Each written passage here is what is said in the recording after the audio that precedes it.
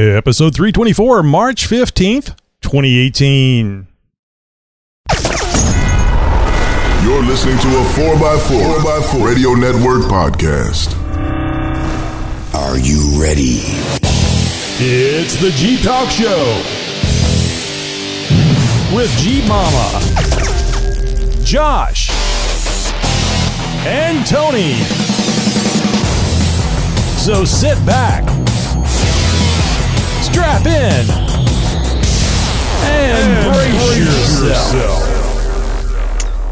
Hey, Josh, you know this thing, the Amazon Echo, have you heard about it? I think Tony seems to be a little obsessive and crazy about it. Yeah, Tammy, I've heard about that. I actually have one, and uh, well, no news here. Tony's crazy about a lot of things. All right, Tony, what's up with this Amazon Echo? And please, this time, like, keep in mind it's a Jeep podcast. Yeah, yeah. Well, Josh, I'm glad you asked me about that. The Amazon Echo, Alexa, has added uh, our little show to their big selection of skills. That means that everyone can now listen to our show on their Amazon Echo. Alexa, ask the Jeep Talk Show to play the latest episode. Welcome. You can listen to all the episodes of Jeep Talk Show, a Jeep podcast, including new episodes, as they are released. For now, you'll start with the most recent episode, but you can change by skipping forward or backward. You can even say how many episodes you'd like to skip. The newest episode is EP.323 New Wrangler just got more expensive. Would you like to listen to it? Yes. Here's E EP.323 New Wrangler just got more expensive. Episode 323, March 8th, 2018. You're listening to a 4x4, 4x4 Radio Network podcast. Are you ready? Alexa, stop. Okay, come back anytime to listen to your podcast. You just have to say, Alexa, resume. Wow, that's really cool. Now, are all our episodes on this Alexa thing? They are, Tammy. And how do I add the Jeep Talk show to my Echo? Well, just go to the Amazon Echo app on your phone, select skills, uh, then search for the Jeep Talk Show. When you see us pop up, tap on the Jeep Talk Show, then click on the big enabled button. So That seems pretty simple, guys. It's really simple and lots of fun. I'm really excited about it. Even crazy. Local Jeep news, national Jeep news, and news from around the world. It's This Week in Jeep. This Week in Jeep is brought to you by Amazon.com. I bet you're sitting there wondering how is it possible that we're able to bring uh, you hundreds of Jeep Talk Show episodes all for free? Well, it's with support from Jeepers just like you. The next time you go shopping online, consider using Amazon. But be sure to click the link on our website first or just go to jeeptalkshow.com slash Amazon and we'll get a small kickback from your purchase no matter how big or small it is. Once again, that's jeeptalkshow.com slash Amazon. And thanks in advance. Well, here's uh, a little something different for all of us Jeep lovers out there. In early March 2018, Mahindra Automotive North America launched the Roxor, a side by side two seater off road vehicle. The Roxor is small and it has no windshield or safety equipment, so it's not street legal. It's made strictly for off road fun. And what could possibly be more fun than bouncing out of a moving vehicle with bugs in your teeth? I can't think of a single thing. Mahindra is the Mumbai, India based brand that focuses on industrial and power sports vehicles and has little name recognition here in the United States. So, why should any of us care? And what does Roxor have to do with Jeep exactly, anyways? Well, Mahindra got its start in 1947 manufacturing military vehicles under a license from Willys. They were simple, rugged, and purpose built vehicles that took soldiers wherever they needed to go, no matter the roads or lack thereof. Like, here's another way of putting it. In the early days of Jeep, the vehicles were built under license by a number of different companies, and Mahindra was just one of the first to get on it, way back in 1947. Today, the Jeep is currently owned by Fiat Chrysler Automotive. But prior to that, thanks to various mergers and acquisitions, we all know that Jeep, the Jeep name, has been owned by Willys, Kaiser, American Motors, Renault, Chrysler, Daimler, and the Cerberus Group. Mahindra has maintained agreements with all of those companies to build licensed Jeep copies since 1947. Now it's building its first one here in the United States, the Roxor. Now, the Roxor was designed specifically for the US market, but it's based on the Mahindra Thar, which is a Jeep that Mahindra builds under license for Asian markets. Its industrial grade construction with steel body on a boxed steel frame makes it stronger than competing vehicles and more like an old school Jeep than anything on the road today. Now, specifically, it bears a strong resemblance to a CJ7. The power is sourced from Mahindra's industrial offerings, a turbo diesel four cylinder engine paired to a five speed manual transmission. Now, it's not super powerful. It's going to yield you about 62 horsepower and a top speed of 45 miles per hour. But again, you're not allowed to drive this on the road. So Mahindra plans to build out a network of 300 dealers across the nation and is considering other vehicles as well, including a postal truck if the Roxor is a success. Now, the Roxor starts at just $15,499 and will be customizable with a range of off roading and work oriented dealer accessories. Check this out. Well, be sure to go check out the links on our, on our website for this episode. So, looking at some of the specs uh, uh, that you were talking about here, I don't see Yeah. this as being a, uh con- competitor to, like, say, the uh, Polaris, uh, the RZR, those those side by sides, those uh, those things that can do upwards of uh, 100 miles an hour in the in the dunes. This is going to be a little bit more utilitarian, and the name is also going to kind of give away a little bit of what it was designed for rocks, Roxor. This isn't going to be something that you're going to be doing 70 miles an hour across the sand in. This is going to be something that where if you need to go, you know, redo that fence on the back 40, you hop in this instead of hopping on the quad. Maybe you hop in this to, you know, go have some off-road fun on the trails, maybe pull your snowmobiles up to the top of the hill, you know, that sort of stuff. Again, this isn't what I would call the ultimate off-road rig, but this certainly does give you a good starting point uh, for, you know, a little bit of fun for an off-road only vehicle. Be pretty cool on the golf course too, right? Hey, now we're talking. well, some people choose to park their Jeeps in garages. Others may opt for the carport, or may they may just maybe leave it in the driveway. However, the owner of a green-colored Jeep Wrangler decided the best place to park their Jeep was in the Waiania, the the the, the easy for me to say river in Kauai. What is likely the result of a single vehicle crash has left many residents completely puzzled. Last Saturday, police responded to a report of a vehicle that was fully submerged in the river on the east of the the way the, the that one river, Twin Bridges. According to a preliminary investigation, police say the driver possibly struck the bridge and at some point reversed into the river. The driver then fled the scene. A nearby resident was reported to have heard the crash and went to go investigate. Police said the resident went to the scene and observed the newer model Jeep Wrangler underwater with its headlights still on. Now, thinking the worst, the resident jumped into the river to ostensibly rescue the occupants, only to discover the vehicle was empty. Police have since contacted the vehicle's owner to remove the Jeep from the river and to ask the question on everybody's mind just what the F happened? As of yesterday, Wednesday afternoon, the Jeep is still in the water and we still don't know how exactly it got there. The headlights have since given out, and we're sure there's going to be a bit of a musty smell in there for the next owner. The investigation is ongoing. Uh, I'm gonna go with uh, Money High. Um, okay. Call, Uh, I, I think call I in. think it's I think it's a wa wa wa wa wa Wainaha. Wa- I, I don't know. I'm sure if, if we have any Kauai residents uh, listening to this right now, I'm sure they're just screaming into their phones right now. yeah, I know. That's great though. Well, unlike by the proper pron- pronunciation of a river in Kauai, uh, this should be coming any day now. After months and months of speculation and rumors, we may finally have a slightly less muddy picture as to whether or not Jeep will be coming out with a subcompact model of SUVs. Now, speaking to reporters at the Geneva Motor Show this week, Jeep Global boss Mike Manley talked about the possibility of Jeep releasing a new SUV, smaller than the Renegade. Quote, I have to say that one has moved on reasonably significantly, he said. You will probably have to wait until our big event in June when we talk about the next five years to see if it's officially in the plan or not. Now, Jeep and FCA have been toying around for years with the idea of a truly compact SUV. Since the Renegade is one of the largest small SUVs on the market at just over 167 inches long, there is space for an even smaller compact option in the Jeep lineup. Now, while the Renegade is quite small for an American 4x4 already, in Europe and other parts of the world, a compact American 4x4 would likely do pretty well.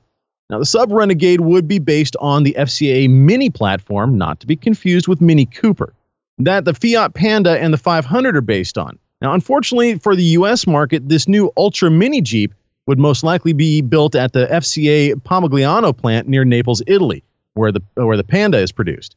At the Geneva Motor Show, Mike Manley also announced the launch of the Wrangler plug-in hybrid in Europe and potentially Australia.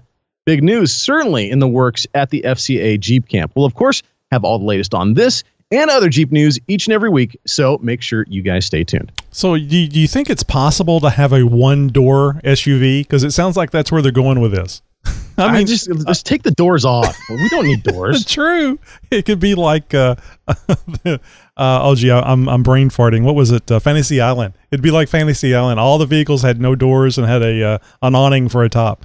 But Here we uh, go. Uh, yeah, uh, well, I guess there is that one French car that is like a three wheeler or something, and it has the, Oh, the you whole like front. open the whole nose. yeah, the whole in? front Yeah. comes off. well, it'd be very interesting to see what they come up with. I'm I'm kind of curious because that would be kind of cool. I mean, I I used to have Hot Wheels and Matchboxes back in the day, and uh, it sounds like that's what FCA is going for here. Yeah, really. Fit in your pocket.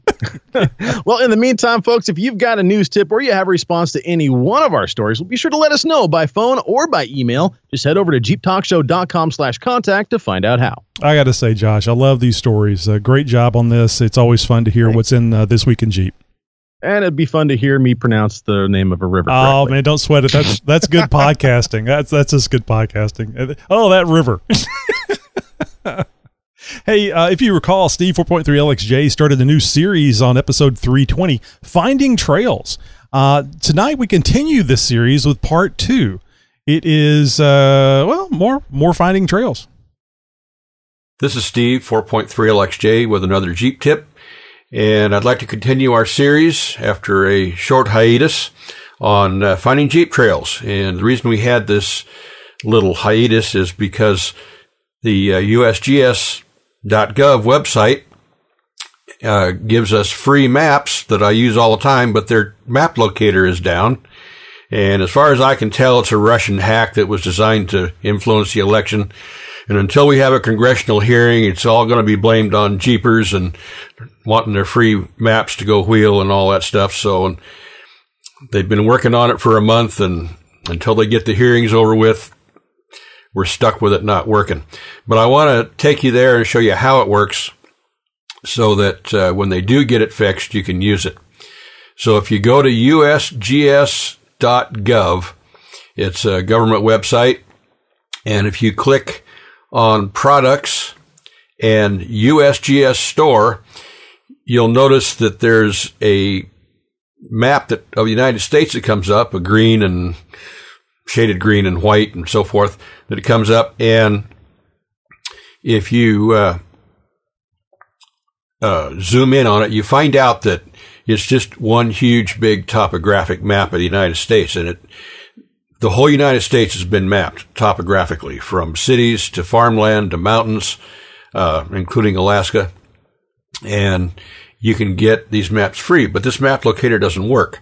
So I went to an alternative source, and that is National Geographic, and that's N-A-T-G-E-O maps.com. That's N-A-T-G-E-O maps.com. They also have free topographic maps, and it's the same maps that they have uh, available from the USGS with an improvement, and we'll go over that later. So when you bring that up, and and you need to do this because uh, we're going to be looking at these maps. Uh, put your cursor on Trail Maps, and you'll see that uh, a window there has uh, Trails Illustrated Topographic Map Guide and PDF quads, free USGS quads. You want to click on that, uh, free USGS.quads, and you will find that as you do so, you get what looks like the exact same map locator there as you scroll down a little ways. Looks like the exact same map locator that USGS had. And as far as I'm concerned, it is. And so I want you to use this and download a map because we're going to be using this map as almost like a classroom and we're, we're going to show you how to find trails on these maps.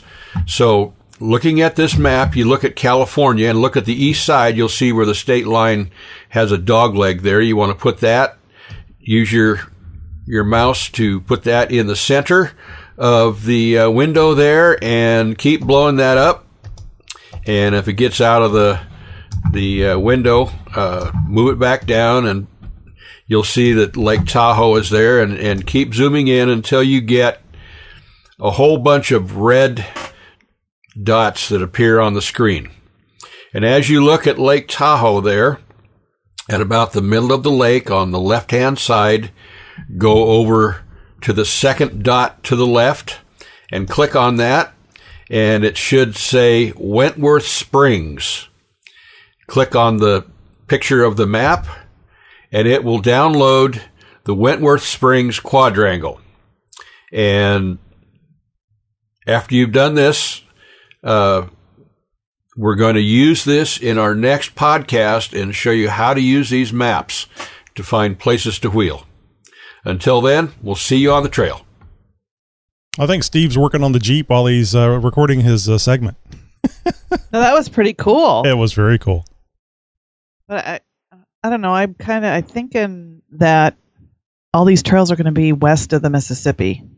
Could be, uh, but that's going to be kind of the fun part about finding out. Uh, grab those Right. maps that uh, Steve was talking about. and Let's follow along. I'm very interested in th- this. I, I really want to see if there's any in Texas. I remember taking a long trip uh, to West Texas. And I couldn't find anything. Didn't have a fence around it, so uh, it was just kind of a you know go out and look type thing. So, uh, but I was really surprised. Anyway. So, you know, join us next week for part three of Finding Trails with Steve 4.3 LXJ. And, you know, coming up in Campfireside Chat, Tammy's going to tell us about her finding, uh, uh, about her finding some trails in her area. She didn't really know that they existed. Oh, they were exciting. You're listening to a 4x4 Radio Network podcast. The Jeep Talk Show is a proud member of the 4x4 Radio Network. Just visit 4x4radionetwork.com and learn more about the 4x4 podcast, Center Steer podcast, Trail Chasers podcast, and our newest member, the On the Trail podcast. Yeah, guys, this is Tom from uh, Arizona. Just wanted a food for thought on uh, episode two or three twenty three about your going in reverse to recover someone. The if you have a high pinion or low pinion, it changes whether you got reverse gear or standard rotation gears. So if you're not jerking hard or whatnot, or if you're just four wheeling yourself and you got reverse gears, you're on the coast side or vice versa, whichever it is. I don't remember right off the top of my head. So the argument about pulling backwards, eh, you can kind of go both ways. Yeah, is it advisable? Probably not. But you're not any necessarily weaker or stronger depending if you have a high pinion, low pinion. If you don't know, you don't know. Also on the gears, uh, 48s, pretty much Dana 30 is the highest they go. JK, they can go to a 513 and a 538 now. Yes, they are smaller, they spin a lot more, and they, uh, can cause some problems, but I've been running them for a long time. Um, in the Dana 30 on my old Cherokee, um, and an old TJ. I've upgraded since to 44s, but, uh, with a sensible right foot and whatnot, they, uh, they can last and they can do good things. And, uh, by the way, I have, we have three Jeeps. One is white, one is chili pepper red, and one is blue. So it's a 98 ZJ with a 360 limited 5.9, a 98 TJ, and an 09 JK. Have a good one. Like the show. Uh, keep up the good work. Where Red, are my blue. black Jeepers? I don't know. That's red, white, and blue. I can't. I can't fault him for that. I He covers the bases there. That's that's a way to go, Tom. And uh, and thanks for calling in. By the way, that's good. Good information. Red Jeeps. Oh, shut up.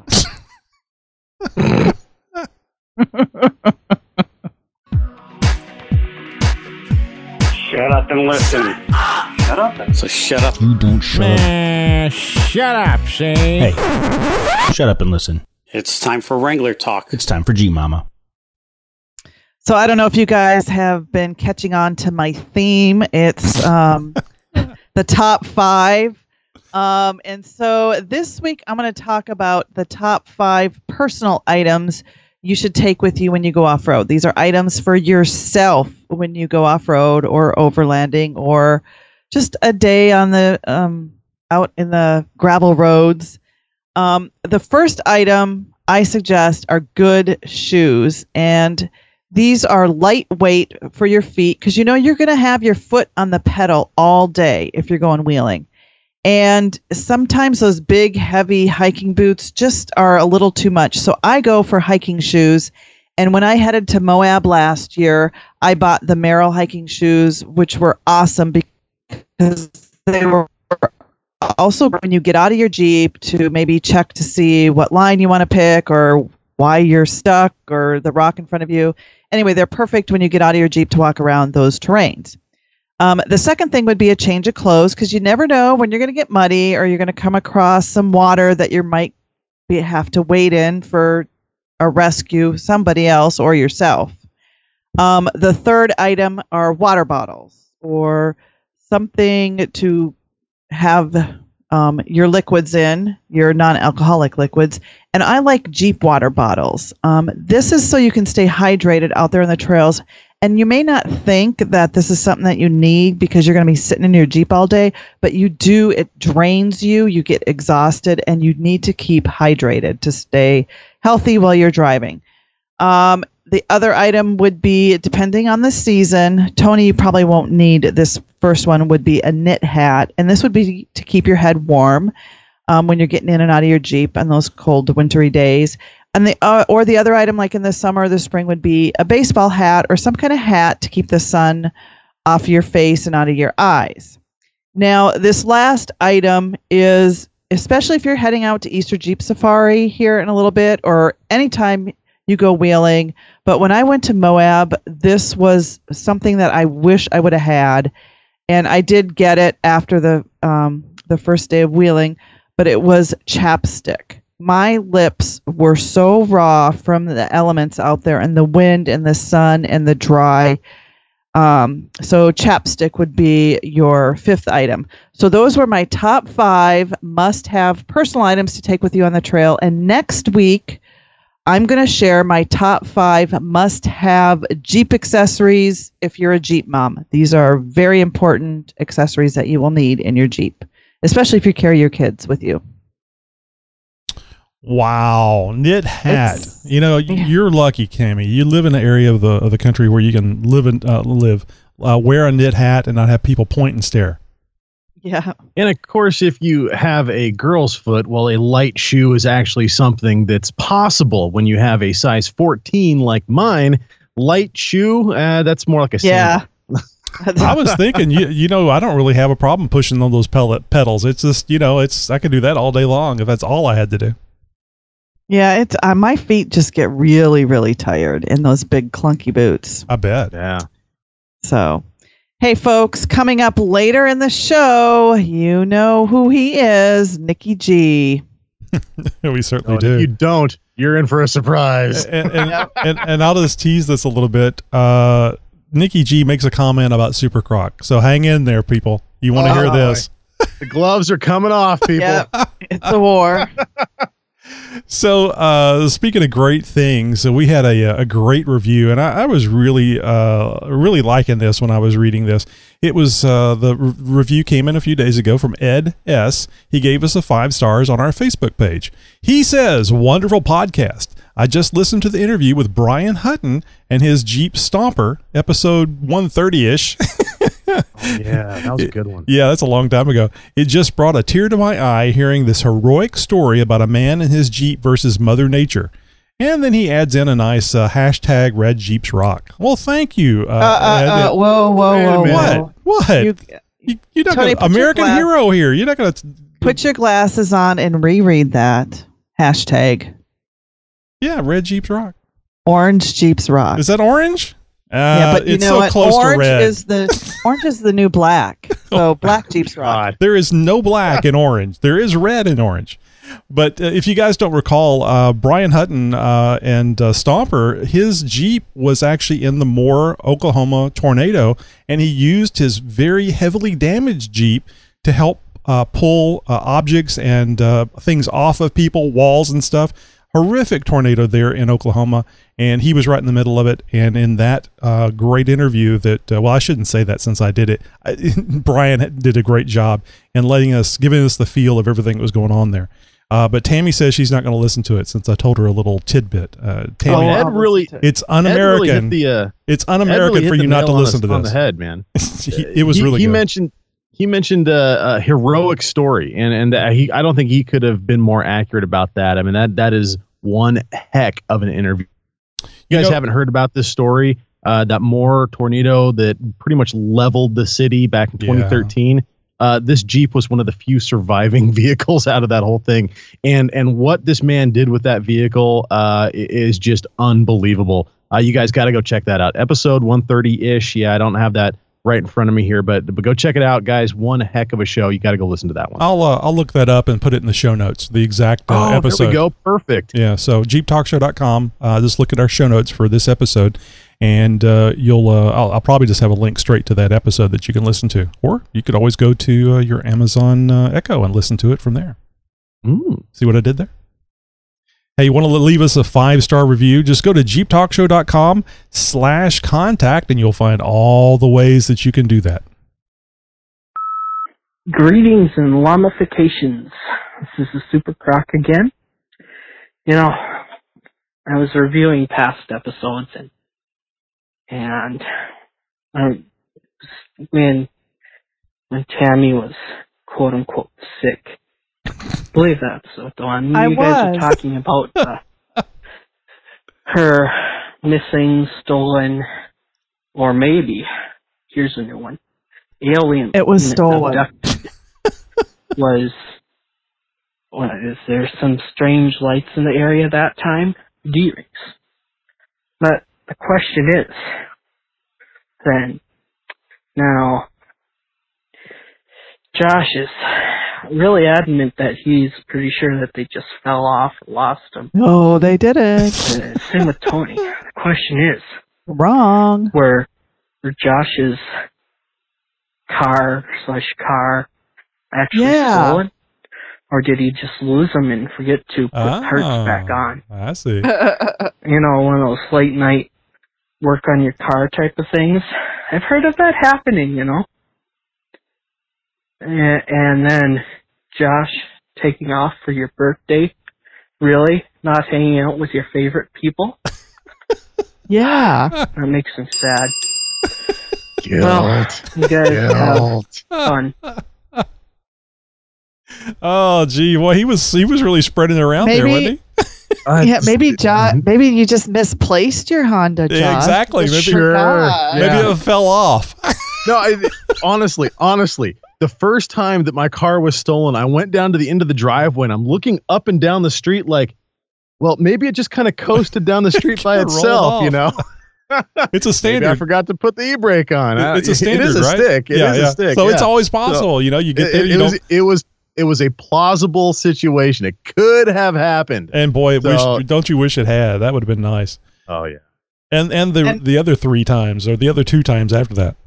And I forgot too. I was listening to the episode about when I and I was sick, legitimately. I won't get into details because that's too too much information.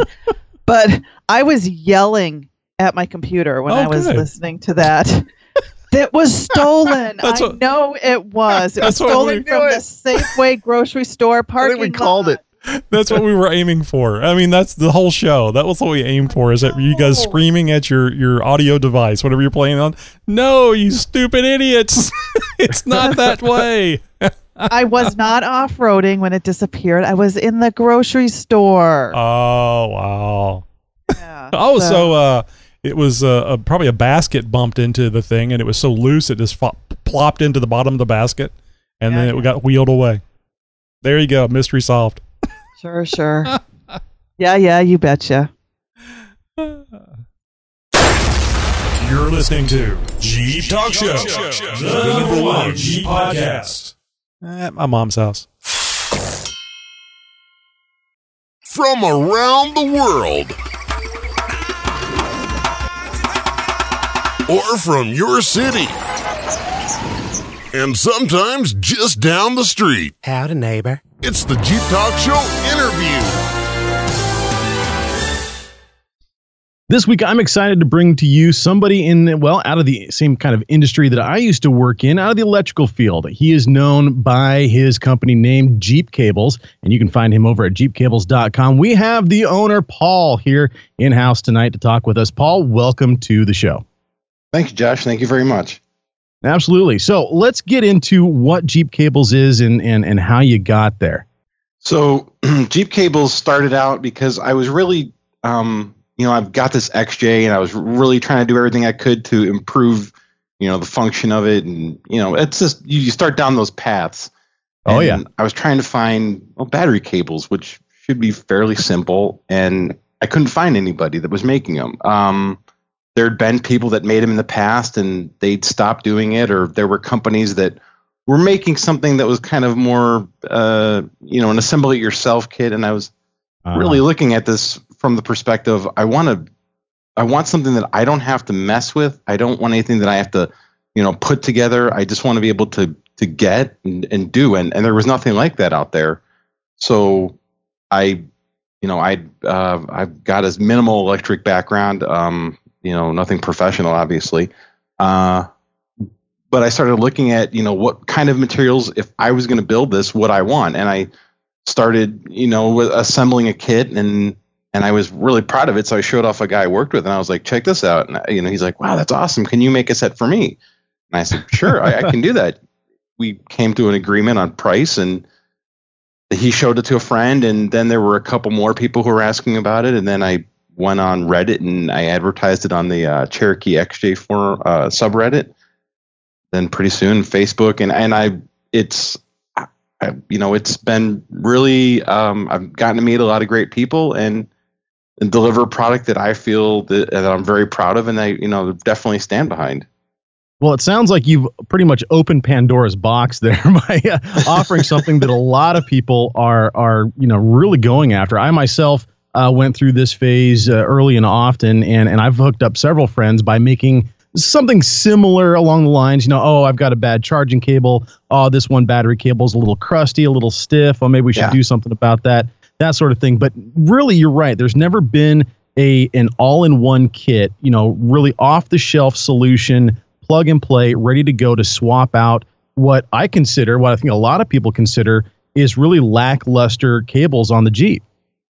Oh, definitely. Those, if you once you, I mean, you know, having looked at it, uh, a, a number of them now, I mean, the charging cables, I mean, you know, a Jeep, uh, you know, in 2001 was the last year they were made. So, you know, 17 years old, the, the, the battery terminals start to fall apart and uh, people have the crazy marine ones that you like tighten down with like the strap at the end.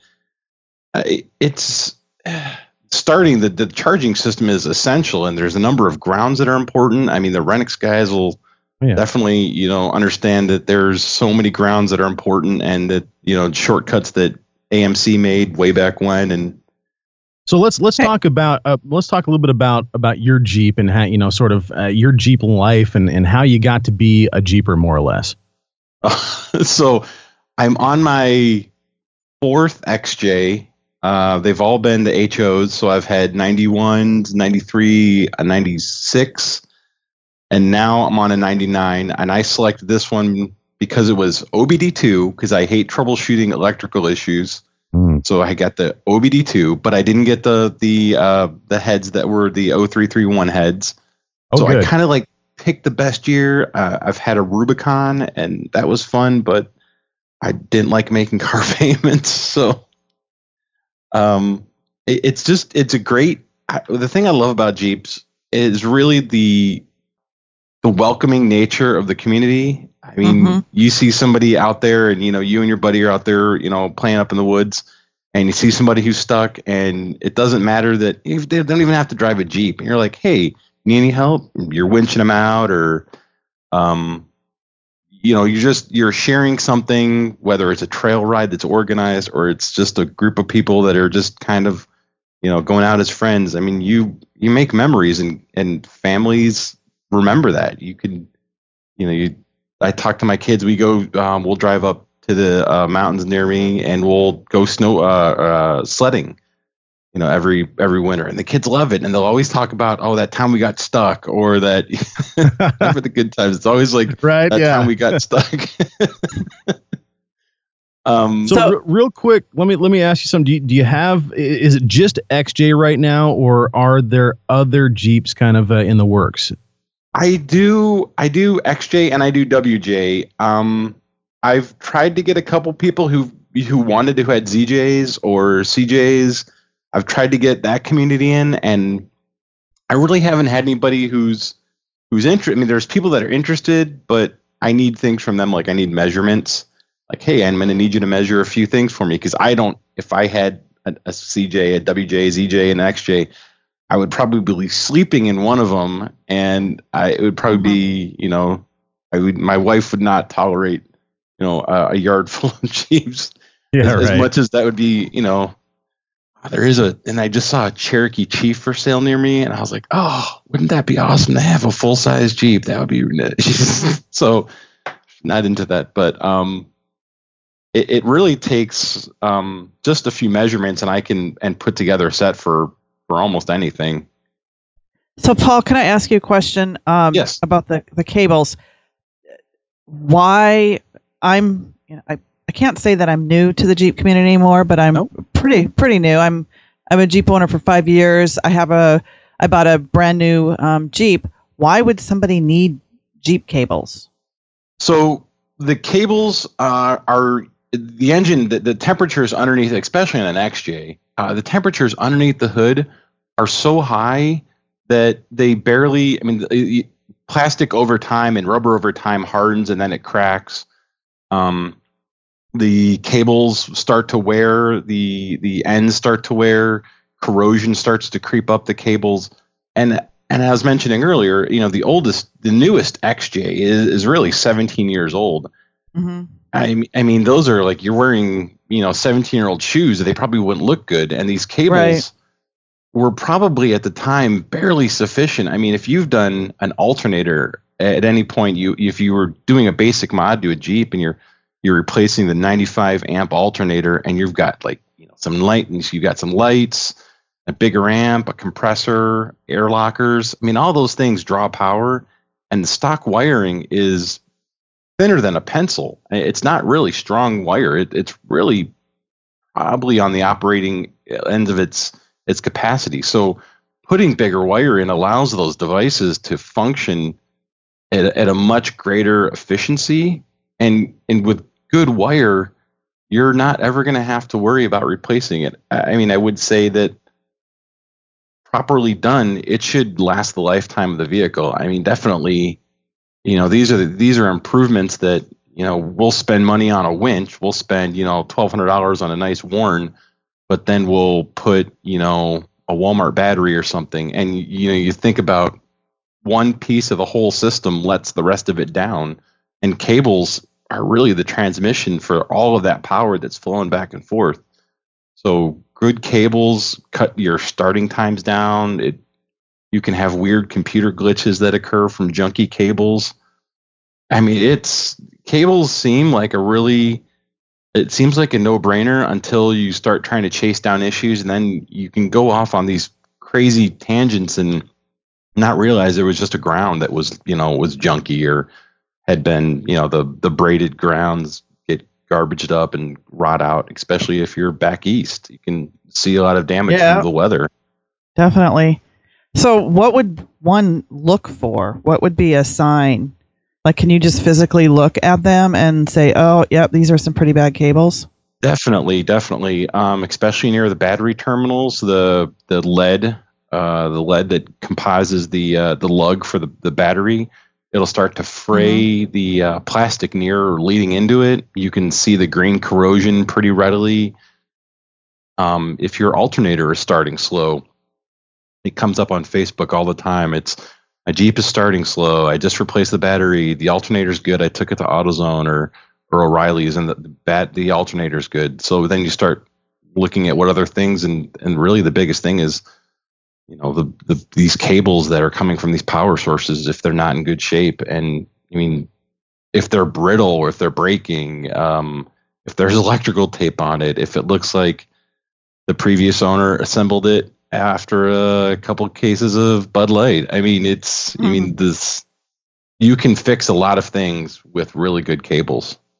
Yeah, it's true. And, and working in the uh, automotive electrical industry for for over a decade, I I'd pretty much seen it all in my time, and and I, and I still I do Jeep builds on the side. I, I still do a lot of electrical work on the side, freelance, and and, and I, I run into this stuff all the time. And yeah, generally it is on older Jeeps. You're not going to see a you know a really you know corroded through uh, a cable on a battery on a Jeep that's only a few years old. But that's not to say that there isn't room for improvements. Now I know on the Cherokees and the TJs and you know the XJs, the ZJs, a lot of those it's an eight gauge primary on there. And and Yes. so and that's that's the biggest that's the biggest. Now I think it even goes down to 10 gauge on some of the grounds and stuff. And so what what sort of improvements are you making over just the size of the wire? So the over just the size, um, my standard set is a four gauge, and I offer a larger two gauge. Uh, Oh, I've wow. actually also done a one aught, which was really awesome because that Good stuff's as thick as your thumb. I mean, Yeah. I don't even At know how that would. You're gonna, you're running. I think the the guy was running a 250 amp alternator. Anyways, um, the the other things you're looking at is the quality of the cable. Um, is it copper? It's not like copper clad aluminum. Uh, a lot of guys will tell me they're like, I can build this stuff. I can get the the wiring off of eBay and I can assemble it. And you know, uh, probably having worked in electronics, you, you see that oil is uh, can break down the jackets on uh, wire. So you'll see where people get eBay wire or China wire, and the oil. You know, it's not like Jeeps don't leak, and I mean we're as bad as Harley Right. sometimes. Oil gets on things, and it eventually just starts breaking down the jacket because the jacket's made out of a petroleum base. I That's right. mean, the, the cable I'm using is specifically, and this is a little technical, it's J1127 and it's an, an SAE spec. So it's, you know, a group of people and a group of engineers sat down and decided if we're going to make transmission cables for, you know, power under the hood, it has to be withstand extreme temperatures, hot and cold. Um, it has to have a certain amount of copper. It has to be, you know, some uh, a certain number of strands. It's got to withstand a bending at a certain degree, uh, abrasion. So we're going to test it against a, a, an abrasive surface and see how long it takes to wear through the jacket. I mean, this is above and beyond what you know people normally do, and that's even down to the terminals. Um, I use copper over tinned because copper has a higher uh, connectivity than tinned, and has a little less on the maintenance side. But we're you know we're Jeep owners. We're used to maintaining things, so you get underneath there, you put a little dielectric grease on the connectors, and really we're just you know caretakers of these Jeeps. You know somebody else has had this before us in a lot of cases, and we're just doing the best to maintain it. And you know a lot of the guys out there and a lot of the girls driving these things to work every day, and you want to make sure that things are reliable. So do you make it these? sounds like- you hand make these yourself? Every single every single one. And i Wow. was joking with somebody about i'm i don't um I, I wish i could streamline it but then i wouldn't be able to put the quality into it. It's just a matter of sitting there at my workbench and i build each set. You know they're it it looks good when you're done. And and i've people tell me all the time they're like i got these cables. They look amazing. And they work amazing. I mean it's i mean i I've seen some people's attempts at wiring, and you know, it, it's what some people consider automotive wiring is is amazing. It, hmm How Oh, long yeah, does it take I've- you to make a set? what's that? How long does it take you to make a set of them? Uh, usually about twenty to forty minutes, depends on Oh, wow. um, how fast I'm working that night. I've usually got a podcast on, whether it's you guys or um, a gaming podcast or something. I'll just have a podcast, and I just kind of get into a rhythm, and um, I, I make them as I get them. So I don't, you know, the, a lot of people have custom requirements. They, they've replaced the air compressor with an alternator, so they want a longer cable so they can, since they've top mounted the alternator, or they've got a, a second battery that they want to have included in it. So they've got an isolator that's this far away, and I just just get their measurements and I build them a set of cables.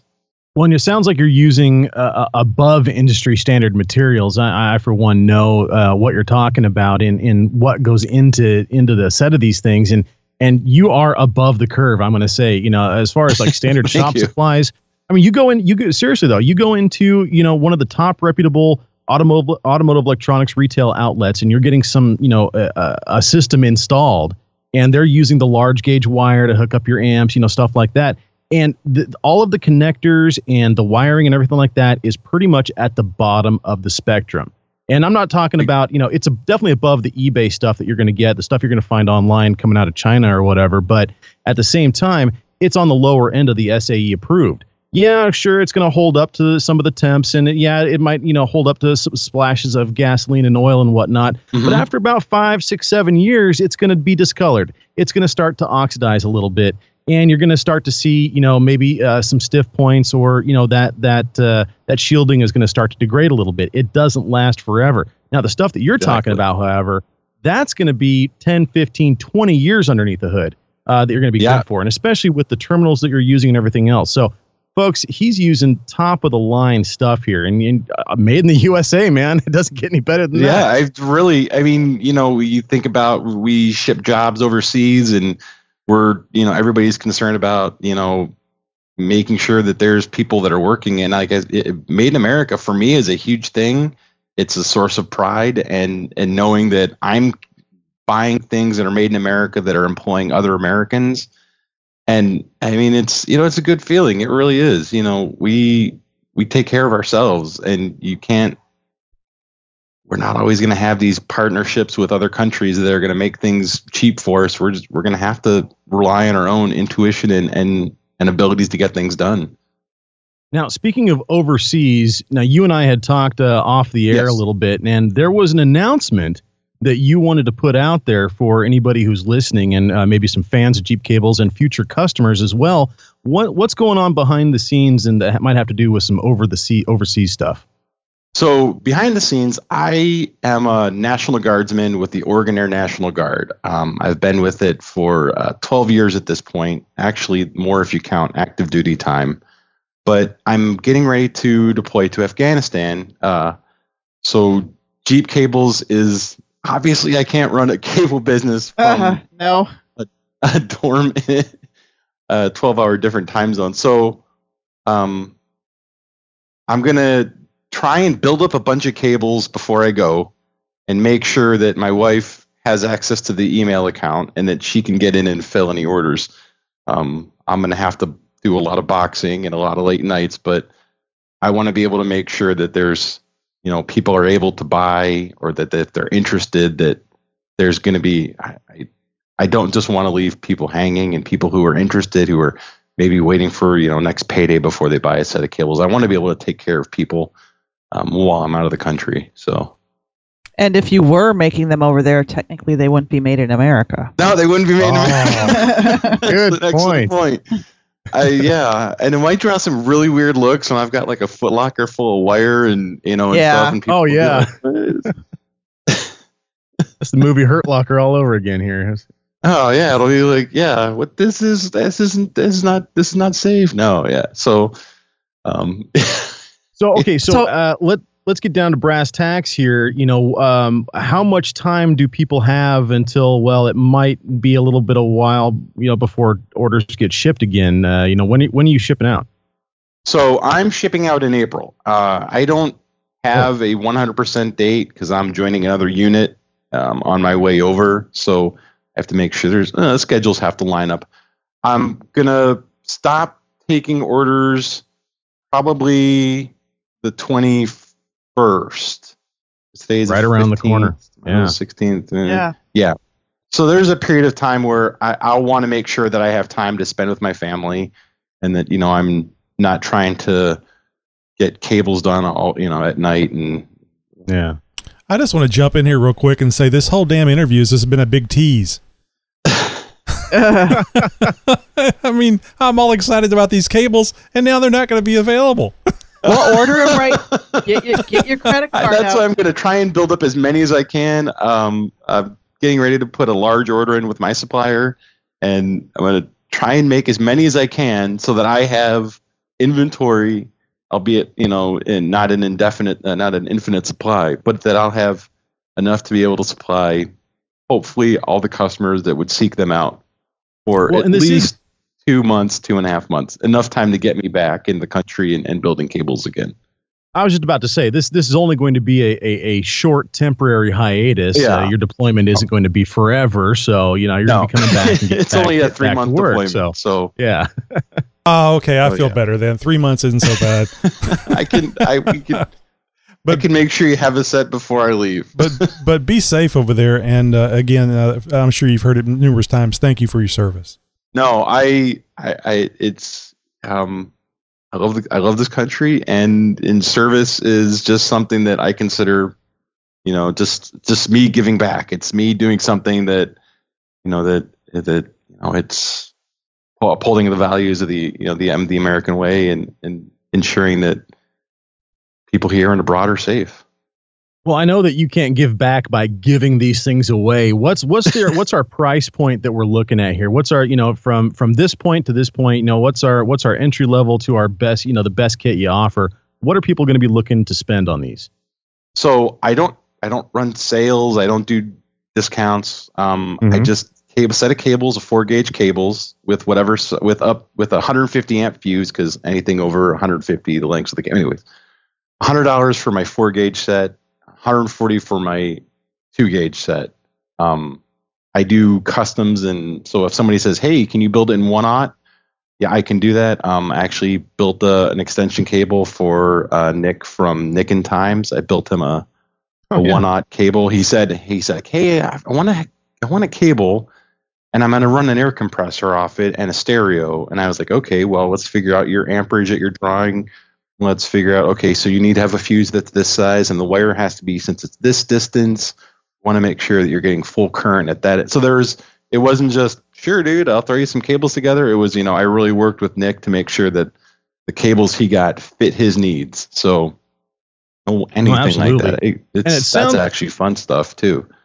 it, it sounds like these are purpose built. I mean, you, you got some math involved in there. You're doing your research. You know, things are set up exactly the way they need to be for you know what these wires are and what they're doing. Now, uh, what are we getting here? Are we just getting a, a couple of cables with uh, some ends on them and a fuse? I mean, what what's all in the kit here? Let's you So, know, make sure people I- have I a good understanding of what my they're getting. big seven. Usually you hear like the big three or big four. I call it the big seven because Oh. there's really seven cables involved. Um, oh wow! You've got you know three grounds because there's one that goes from the fender to the battery and one that goes from the battery to the engine block and then the cylinder head to the firewall and then you've got all your positive leads. So going from the battery to the PDC or the relay and the on the Renix and then down to the uh, alternator. And but so the alternator when we're upgrading these systems we're getting rid of the fusible link. Um, fusible links are, are great when you're working with compact wiring bundles but it, they're really awful for you know long-term serviceability. So what I do is I have the alternator lead, and then there's a fuse, an ANL fuse, because it's really easy to find an ANL sized fuse anywhere practically. And then that from that ANL fuse to the fuse block, and then I use um, they're called ordnance style. They're military style battery terminal because they're awesome because you can attach things without disconnecting your battery. And for those of us who have like a lot of presets on the radio or a lot of things like that that that have a memory, you can add something to that cable set without totally disconnecting it from the battery. So, I mean, you should really, anyways, theoretically disconnect, but sometimes we kind of don't listen to that rule. But um, Don't always the follow directions. What's that? I said we don't always follow directions. We don't. You know, even though it says like you're you're changing your spark plug, and the service manual says disconnect the battery, and you're like, I'm doing spark plugs. Not really that bad, but um, yeah, I, I, the ordnance style plugs or or the ordnance style terminals are are heavier. It's just great, and everything's heat shrinked. I use marine grade heat shrink. I hydraulically crimp every terminal because I've seen some. They're called um hammer and hammer and bang um crimpers where you're just smashing wires together. A good crimp is oxygen free. That there's no room for oxygen to go in there and corrode any of those wires. So a nice, good crimp that's oxygen free. You get the the heat shrink that keeps it that keeps moisture out. Yeah, you're right. The, these things will last 15, 20 years, and hopefully beyond. Hopefully, there's people that are running these cables, you know, as as long as they own it. I mean, ideally, you'd be able to hand this down to your your kids, and they'd have maybe my cables will still be on that Jeep if we haven't That's gone awesome. to like hybrid engines or something crazy in the next 60 years. So Well, it sounds like with with what they're made and what's gone into them, these things will certainly last a lifetime. Tell people where they can go to go find these, to check out the pictures, to price them out, to see all the kinds of stuff that Jeep Cables is doing, and and and where. where let's start directing people to uh, where to find you. Okay. Um, I'm on uh, Facebook at Jeep Cables. I'm on Instagram, jeepcables.com, and I've got my website, jeepcables.com. Um, so pretty much uh, just do a search for Jeep Cables, and people will be able to find you. Yeah. Yeah, and I should be the first result if you look on Google. Just type Jeep cables. I mean, I've got so many ways to, you know, so many ways to find me, and I'm responsive to emails. I'm responsive to Facebook, um, Instagram. Ah, there's a lot of awesome Jeeps on on Instagram. I yeah, Sure. Yeah. There are. I don't know. It's so many. But it's like Pinterest for guys is like Instagram with Jeeps. I mean, it's insane. So, uh, yeah, I try to be active on all the social platforms. Um, it's you know, people aren't just Facebook anymore. They're not just in, they're not just going to web pages. We're going to Instagram. We're going to you know, uh, well, Pinterest. I mean, there's obvious, there's tons of places. Oh, yeah. and, and We- I try to be on all we of them. love our pictures. Yeah, we do love our pictures indeed. Well, Paul, I can't thank you enough for, for being on tonight. Uh, I want to get you back to your family and stuff like that. We'll have all the links uh, to the to the website, to the Instagram, to Facebook on the uh, show notes for this episode. All you guys got to do is head over to jeeptalkshow.com and check out for episode 324, the show notes there. And we're going to have all the links to where you guys can uh, hook up with Paul and and uh, find out more about what he's doing, and of course, see what he's doing, and maybe even put in an order. And of course, uh, Paul, make sure you, get, you keep your head down, buddy. Uh, we don't want to have anything happen to you. We'd hate to have those orders not get filled now. You know? Uh, yeah, no, definitely. I I appreciate that, and um, I just want to, Tony, uh, Josh, and Tammy. I just want to thank you all for having me on, and, Oh, and I appreciate getting a chance to speak with you. Absolutely. And we're going to have to have you back uh, when you get back as well. We'd like to learn more about Jeep cables and, of course, how your deployment went and all that. So Oh, yeah, uh, we'll have to have you back on in the future. All right, thank you. Yep. Thank you so much for joining us. Hey, big thanks again goes out to Paul Roth for taking the time to talk about Jeep cables and, well, his upcoming deployment as well. Keep your head down, Paul, and watch out for those camel spiders. Oh God, those things are horrible. Hey, uh, do you guys have an idea for a guest? Maybe you want to be a guest yourself here on the Jeep Talk Show. Well, just go to jeeptalkshow.com slash contact and share your idea for our next great guest. Maybe it's you. Drop us your contact information and we'll reach out. Hey, and if you own a hardtop for your Jeep, listen up. Coming up next week to talk about one of the most innovative inventions to hit the Jeep scene in decades, we're going to have the man behind the one thing that will make going topless easier than buttering toast. Barry will be here to talk about Top Lift Pros. Mmm, toast. From the mind of Nicky G. Hey, this is Nicky G, and uh, we are seven times more likely to see Bigfoot give Elvis a piggyback ride than we are to see the Super Croc in his natural habitat. Oh my God, Super Croc, it's good to hear from you again. Uh, glad to see you still a Jeep owner. Sad to see that you're still having Jeep problems. Uh, give you some words of wisdom. Uh, when you ha- own a Jeep, you're only one engine away from the perfect Jeep. And if you want to drive a Jeep every day, you have to have three of them. Uh, keep plugging away at it, buddy. And uh, I remember correctly, you had a CJ at one time. How, how's that? Let us know how that's coming along. And uh, all right, short and sweet this week. Uh, I'll talk to you later. Yeah, we will. Bye. Uh, I think he had a scrambler. Would that be considered a CJ? I thought he had a Uh, CJ. I was thought it it a was a CJ? CJ. Yeah, I thought it was a CJ too. Okay, yeah. I'm probably remem- remembering wrong. I was thinking it was a scrambler, but maybe not. You must have needed this every day. It's the Jeep Talk Show's must have stuff pick of the week for your Jeep. So let's say you have an ARB twin air compressor, and now you are left with the task of where to mount it and how to plumb it in for use. Well, now there's a complete solution in one handy kit. Innovative JK Products has taken all the guesswork out and developed a complete solution for your tire inflation needs on your four door Jeep JKU.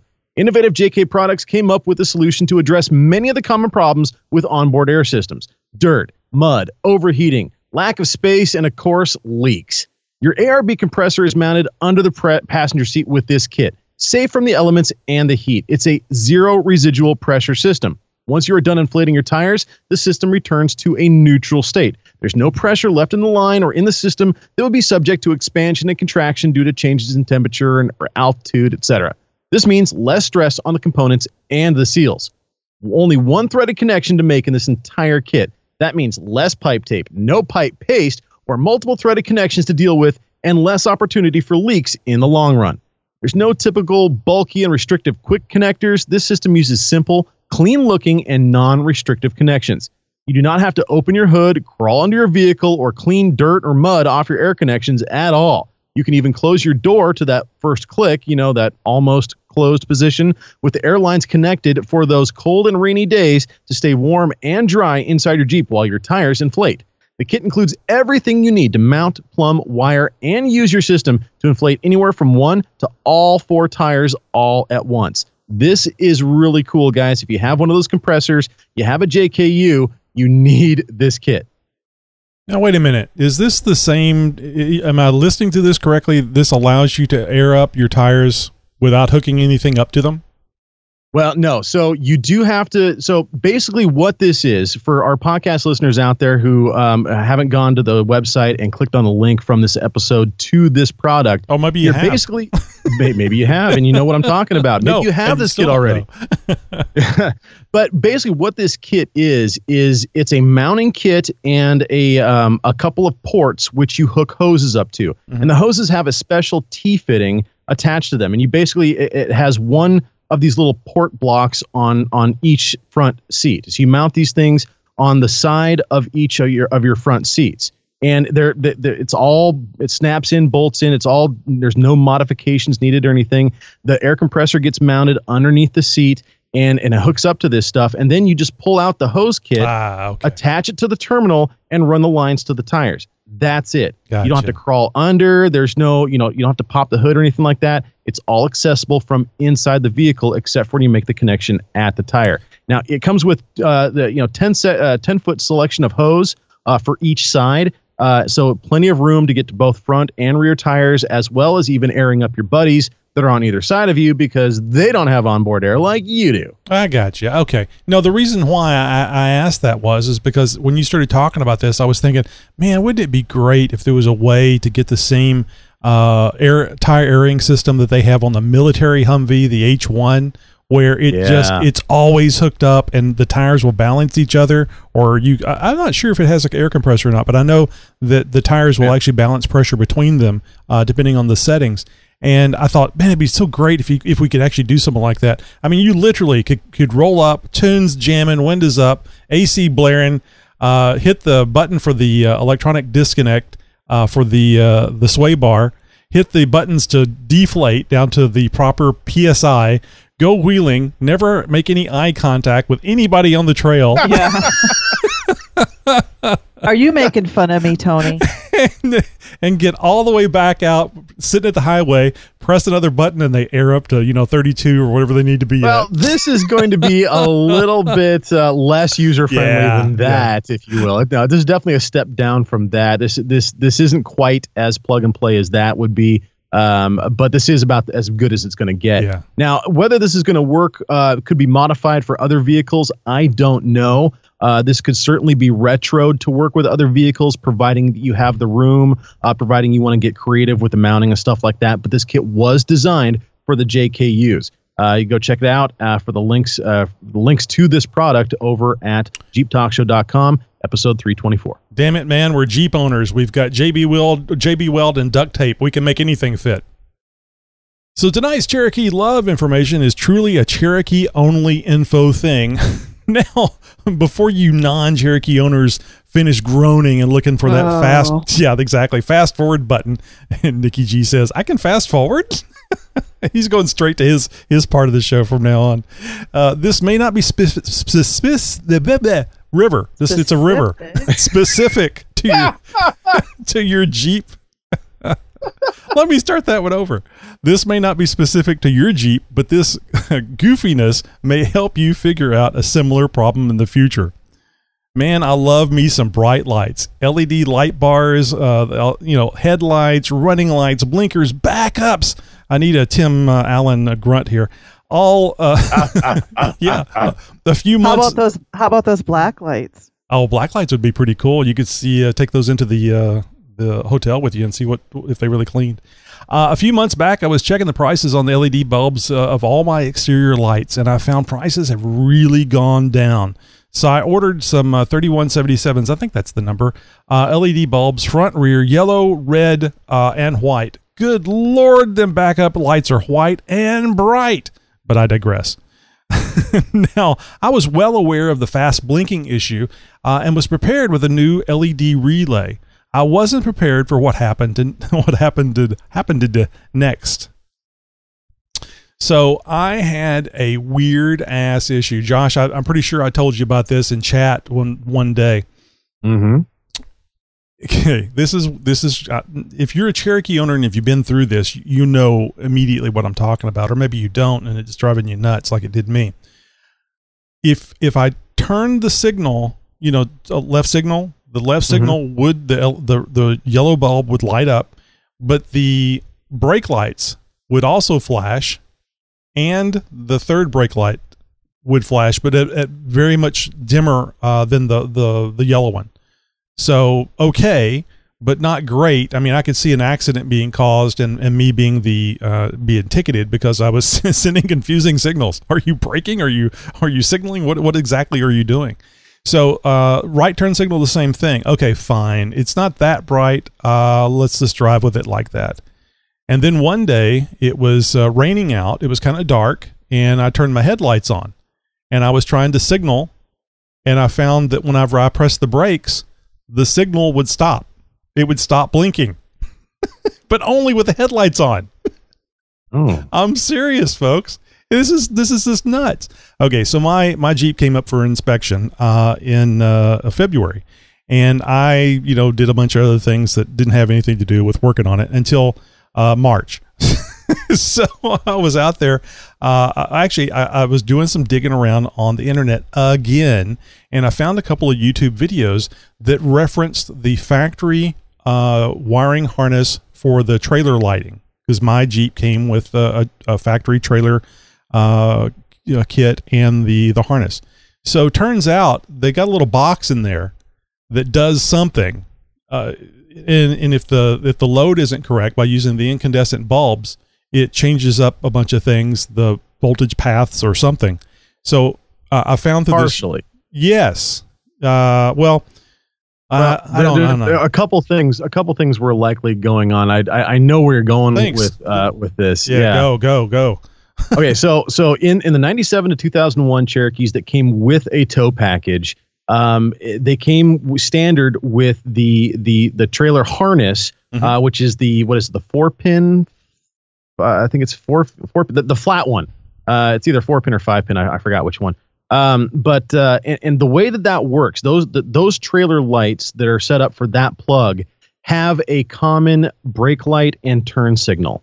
Um, and so what this does is in the in all that wiring that's in the driver's side rear quarter panel of the 97 to 2001 Cherokees, there there is um, there's essentially a factory harness back there Yes. that the that the uh, dealerships would for when they install the um, the, the tow package, uh, which is a dealership option. Um, it um, they add in this other harness which plugs into this factory wiring, and what it does is it basically steps down the wiring from you know full turn signal, parking light, brake light, um, reverse light, and all that down to common um, to where the brake light and the turn signal are one essentially. And so when you put in the LEDs um, in there, you're basically back feeding voltage back through that into the rest of the system.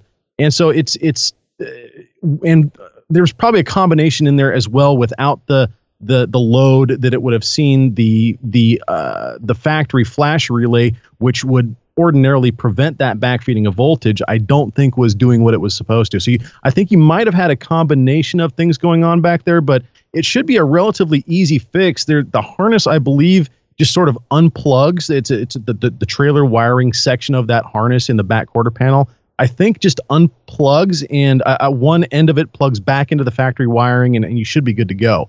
Um, otherwise, it's all back to stock lighting. So let me ask you this: uh, Two months ago, when I was telling you about this problem uh, in uh, uh, Google Hangouts, why the hell didn't you tell me this?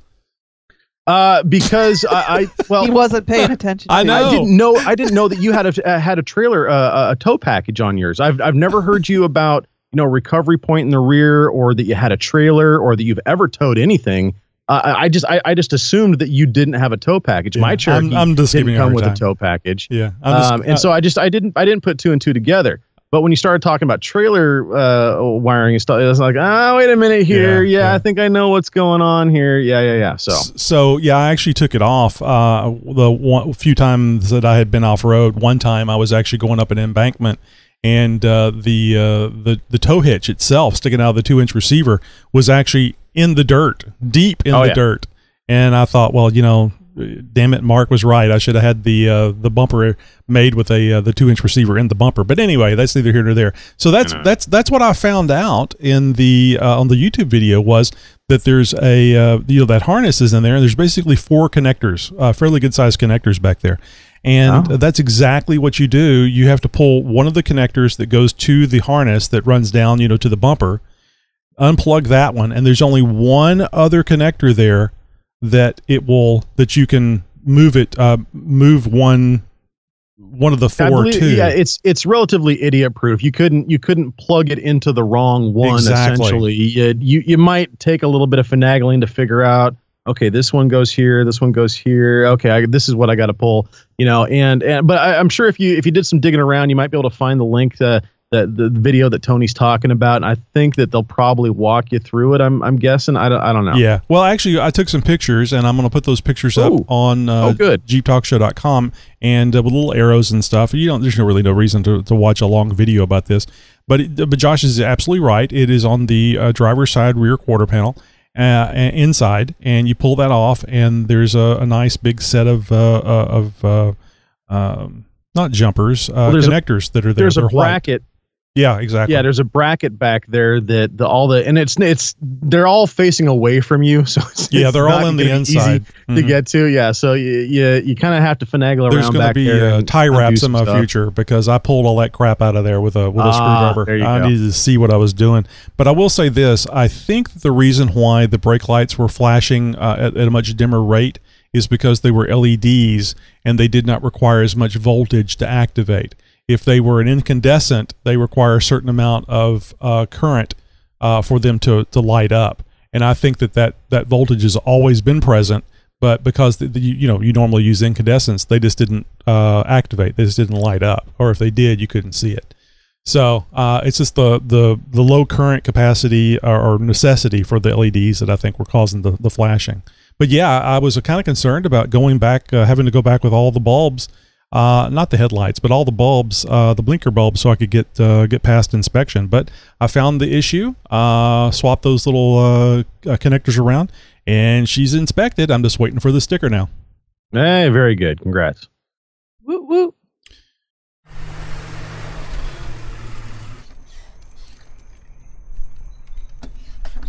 Ooh, did you see my blinkers when I was coming in? They're working. You you were coming in backwards. I was blinded. oh, I love those LED lights. They're so pretty. Yeah, you uh, posted up a, a pic, some pictures. I think when you first did the the swap around with the uh, the reverse lights, and good God Almighty, man, I'm surprised you haven't melted the lenses. My uh, my wife said she. I think I said this in one of the posts that uh, she actually came out because I you know I had them blinking and stuff because I was taking pictures and also to just you know enjoying it. And it was dark outside uh, by the time I She got done you with were them. getting arrested, didn't She- she? Right, I was She thinking thought- the same thing. she thought there was an ambulance at the neighbor's house and, Oh, and the no. light lights were blinking, you know, and flashing off of Yeah. the of the the, Yeah. the the houses. So she came out to check to see if there was an ambulance out there she couldn't see. I, I was like, ah, I was just so proud. That's great. Uh, anything new on your front, uh, Josh? No, man, it, it's. I, I've been so inundated with yard work that I've got to catch up on. It's like this does take priority over the Jeep. I've Oh, got to get on top of this stuff before you know spring springs too much, and uh, uh, and I'm left with you know crap. Now it's going to take me three months to get on top of this instead of three weeks. Oh, Um, that's so just- that's it's it's been my focus. It- you know, it's That's too priorities, mature. life. You That's know how too mature, goes. man. That's just I don't like this. I know. Of you. Look at me, adulting and stuff here. Well, Tammy, I don't. have- You you haven't been adulting here at all, have you? Uh, well, I finally got my family to go wheeling with me. Um, Carbon monoxide poisoning. Uh, You not not all of them. Not my tranquilizer oldest. gun, right? Uh, Yes. Where the hell zip are ties and track darts. I, I told them we were going to a roller coaster park. Ha, psych. oh yeah. No. Um, Load re- up, everybody. We're going to the amusement park. Right. Woohoo.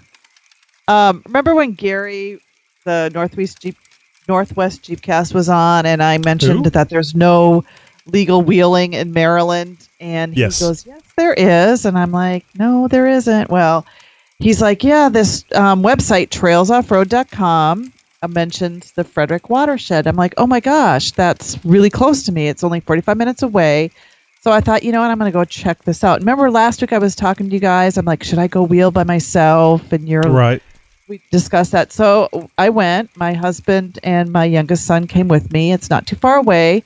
It's the Frederick Municipal Forest, and it's a 7,000 acre oasis, and it's a watershed forest. And basically, it's 11 miles of gravel, dirt, slightly rocky roads, um, coursing throughout this watershed. And on this website, they rated a the it's a technical rating of a one to two. And basically, it's a dirt road. It, when we went, it was dry.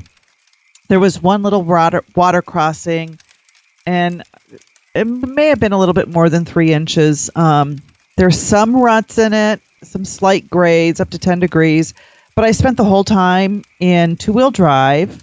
The exciting thing is um, there were signs all over the plows, the snow plows don't plow past this point. And I'm like, yes, this is where I'm going to come when it snows. You don't think they would close there it the, when it snows, do you?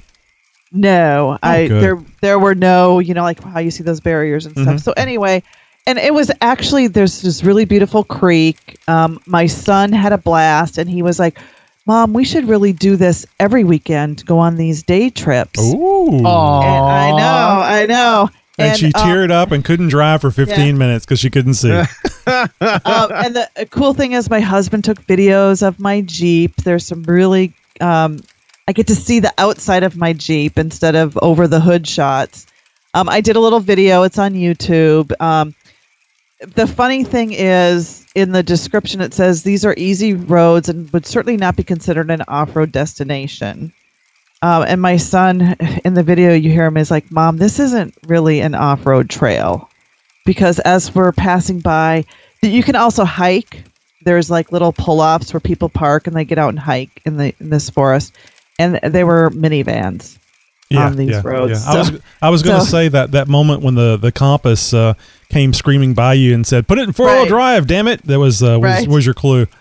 but it, you know, it was nice. It's close by, and actually, it sparked another um, person gave me another website, which I'm gonna I'll share it. Yeah. Um, where there's these scenic gravel road routes in Maryland. And there ain't So nothing it- wrong with that for off road. No. It is off road, just so Right. And, and your family went with you, and they probably went with you because uh, it was close.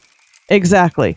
And I think they would go more often if, you know, there were closer places. But anyway, it was a really nice day out, getting to the wilderness, be in my Jeep, you know, away from the city. So, and I got some really cool videos of my Jeep. Well, see, just like a drug dealer, this is good because you can get them started with the free stuff, and then Right, get them hooked on the rocks and uh, there you go. the trees, the dodging of trees, and uh, Nate standing in front of your Jeep going, no, no, no, your other left, driver, driver, driver. oh, that's great. I'm glad that worked out. And uh, Tammy, I know you posted up some pictures uh, out there. I, I know I saw that one uh, that one picture. I I think I even commented that uh, this would be a great place to take Jeep photos at.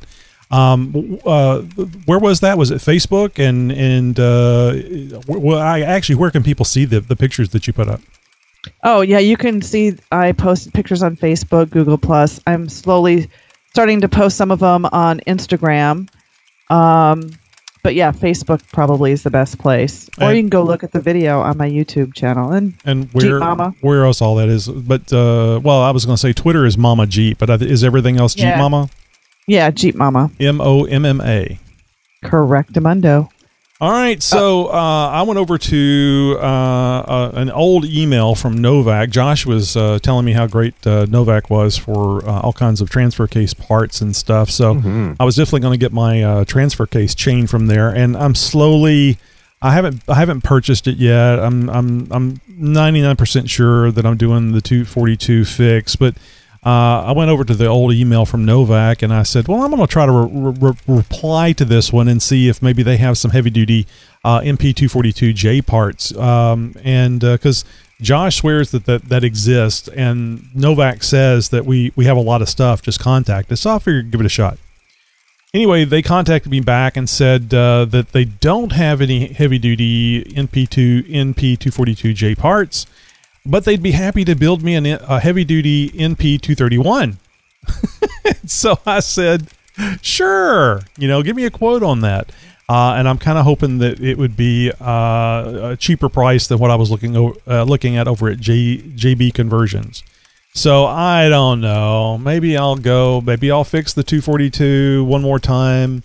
Maybe I'll go with the 231. I guess really the only downside to the 231 other than uh, losing the uh, the full time four wheel drive, is I've got to buy a plate uh, for the uh, for the shifter because it it's different notches for the 231, and seems like there's something else. Oh, the little plate, the little bezel that uh, Yeah. you know has the stuff on there, and uh, you know you think that's not such a big deal. Uh, I'm not a big junkyard person. Never had uh, very much luck. Usually, don't have the right tools uh, when I, I get there for what I'm trying to do. It's just an experience thing, I'm sure.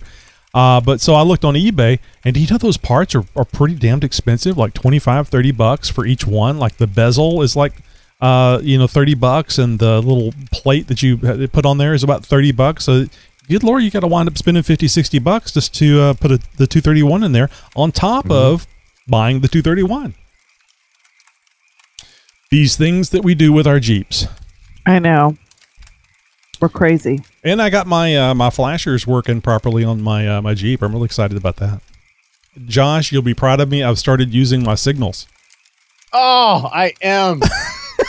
You don't use your signals when you turn? No, absolutely not. Especially Holy, why? especially in traffic. Well, you don't want to give away your strategy because if they know, Oh, Lord. if Oh, you Lord. if they know you're coming into that lane, they're going to speed up. If you just Oh, they are not. I'm act. Yeah, though they do. This is this is Houston, baby. they do that. So if if you're cruising along, you just you just kind of gotta not act. You know, don't don't get over there close to that that lane. You just stay like you're going, and then you zip over right before they can speed up, and then you're you're in. So yeah. Anyway, now that was a funny thing that a guy said one time on a repeater. he says he doesn't use signals because he doesn't want to give away his strategy. And if you if you leave, live in a big area like Boston or Houston or uh, I'm sure California, like Los Angeles and stuff, is probably the same way. Uh, it's very difficult to get around on the highways. So yeah, Uh-huh. you use anything you can. I, I will say this though, uh, I did use my signals anytime there was a uh, a police officer within sight. Oh, well, yeah, you better. Well, guys, let's get into what uh, well, wheel some wheel and wear. We're going to talk about some events coming up in your neck of the woods and around the nation. Now, it's pretty much well, if it is basically the biggest, if not one of the biggest events, Jeep events on the planet. I am, of course, talking about the annual Easter Jeep Safari. This year is going to be the 52nd annual Easter Jeep Safari. That's a big one, guys. March 24th through the April 1st. Through April 1st, it's uh, a week long Oh, event, guys. Um, and uh, pretty much, if you don't know about this, you've been living under a rock, perhaps. Uh, go check it out, guys. It- all the information is over at the the Jeep Club's uh, hosting uh, site. It's uh, Red Rock Four Wheelers. uh, is who puts this on, and they've got a great site and all the information you could possibly digest about what this is. It's in Moab, Utah. Head over to rr4w.com to find out all of the event details. Hey, did you guys Uh, see that uh, that email from Andy Newell uh, inviting us out to Easter Jeep Yeah, Safari? I Yes, it's. I dis- want to go. Yes. well, Josh is impressed. closest, so I am I'm close. It's still you know 16 hour drive or something. It's oh. Yeah. it'd be a good break-in test for your motor, Josh. Oh yeah, yeah no. Sure. But thank you very much for that invitation, Andy. I would love to go. That would just be a blast. Oh, we'd all love to go, Yeah. but uh, maybe next year. Maybe next year. Well, uh, next month, anyways, uh, April 7th, uh, is the Ruby Trucks and Route 16 presenting the Uwharrie UOHV Jamboree 2018, guys. This is going to be a really cool event. Huge swap meet, club convention. They got a kids area. Check this out helicopter rides. What off road event have you ever been to where there's helicopter rides? Pretty cool. They've got a huge vendor expo, the whole nine uh, happening April 7th. Gates open 9 a.m. at the Uwharrie OHV Park in Troy, North Carolina. For more information on this, well, head over to uwharriejamboree.com. We'll have the link for that on uh, the, the show notes for this episode as well. Now, this is an event that uh, that I'm going to be showcasing for a little while because, well, one, um, it's a regular happening thing. It's not just a one and done type of thing. Um, this is going to be a monthly event that's happening every every month between March and October. Um, and it's Jeep Night at Boardwalk Billy's on Sardis Road North in Charlotte, North Carolina. Uh, the first Monday of every month, first Monday of the month, Jeepers from all over come together to see and show off their amazing rigs. Guys, the pictures I've seen online of this event are way cool. Gotta go check it out. Uh, you can learn about upgrades, talk to shops, talk to other Jeepers, uh, talk to clubs, Facebook groups. You can plan rides, other events. Best of all, they do all of this while raising money for children in need that are local to the area. 10% of all of their food, sa- food sales during the event will be given to the families in need, and 100% of the proceeds they raise from their monthly raffle, which is huge and awesome for what I understand, is all given to the families with children in need. Please join the community the first Monday of each month from March through October and support this good cause. We'll, of course, have the link to the Facebook page where this event is being detailed at. You get all the information and find out how to support them. Two things, guys. If you go to this event, uh, we would love if, love it if you would share some pictures with us so we can put it up on our, our page and our social media. And uh, the other thing is make sure that you let the the folks out there know that you're there because the Jeep Talk Show told you. Hey, and if you know of an off-road event coming up, well, shoot us an email with some details. Have you been to a Jeep event recently? Well, we'd love to hear from you. Just go to our contact page at jeeptalkshow.com slash contact. Hey, folks, and don't forget to go over to my blog at www.jeepmomma.com, and you can follow me on all my great Jeep journeys. And of course, if you need a voice for your product or your business, check out my professional voiceover services at thevoiceofjosh.com. That's it for this week, guys. Until next week, be sure to follow, friend, like, subscribe, and above all else, be sure to tell a friend about the one and only Jeep Talk Show. So no matter where you're wheeling, if you pack it in, pack it out, and don't wheel where you're not supposed to. Remember to always tread lightly. If you'd like to learn more about the Tread Lightly principles, head over to www.treadlightly.org. Warning The Jeep Talk Show is produced on a closed course and done by professional drivers. Do not try this at home.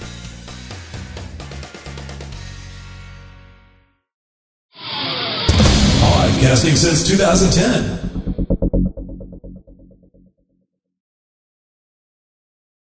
Ended with the music fading out. I mean, that's like having two orgasms at the same time. It never happens. oh, jeez, Louise.